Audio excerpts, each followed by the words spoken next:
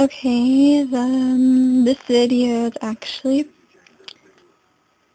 gonna be not about the like love that I was gonna talk about. The topic, no.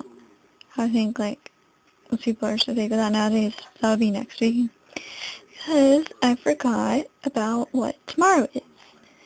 This video is like kind of more important right now because this is about Eminem because tomorrow's his birthday and he's only around for the still alive so just wanted to make this video for him. And basically, been listening since the very beginning release of 2002 of the Eminem Show. That year I bought the CD. Well, first I burned it from a friend and I played it over and over and it is so scratched up. I listened to it so much and it's still my favorite Eminem CD well, number one favorite because I a bibs. I like my favorite song his is Bam, featuring Marilyn Manson and Marshall Mathers, the part where this is Insane Clown Posse, and uh, D12 Fight Music is rapping that. And yes, I'm watching a of Eminem DVDs and listening to all his music on Monday and doing anything that's not Eminem related. And watching 8 Mile, Have three of his DVDs. I have a D12 DVD, but he's on it. But I have like both the D12 CDs and all Eminem CDs. I even have Infinite and Slim Shady EP, like burned copies, and all the songs on my iPod. I have other, at least 50 other Eminem songs on my iPod. And about 30 D12 songs on my iPod. Um, and I really, really wish that D12 was still together because Eminem, Eminem was just so great in them, especially with Proof. I wish that he, Proof was still alive because D12 would probably still be together then. And I know it's not till tomorrow, but just hope Eminem has a great birthday. And he's going to be like, what, 38, I think? Close to 40 already. Um, yeah, and he started rapping back, like, professionally, God Records Underground with CD Infinite. Like he did that like 95 and when he was like 21, I think. Yeah, it's like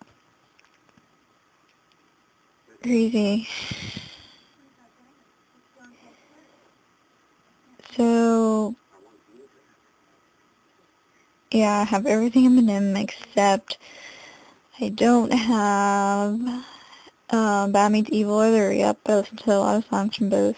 I'm just waiting because I'm not into compilation CDs that much for other people because of those other rappers I don't like rap with and usually like all those songs so I'll buy them eventually probably the CDs been really cheap on them but right now I just have from Infinite Slim Shady EP Shady LP all the way through Recovery and of course few of his DVDs, one of his books, and the 12 CDs and DVDs.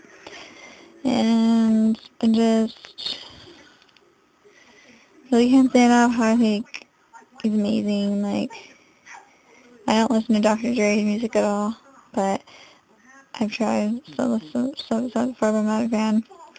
But I think he was great for signing Eminem even though Eminem probably would have gotten someone else then, but probably wouldn't have happened as fast.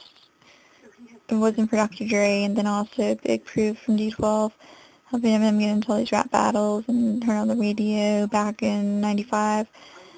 And even before that, probably with the rap battles, but just, like, for both of them, especially for Proof and Eminem being in D12 together for Proof putting in D12 because Proof started D12.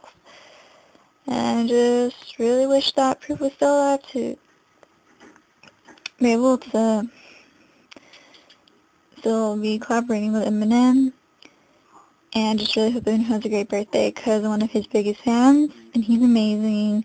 8 Mile one of the best movies ever and he's really hot. He's still hot. And glad he stopped doing drugs and I love that he collaborated with Marilyn Manson. Basically, hope he has a great birthday.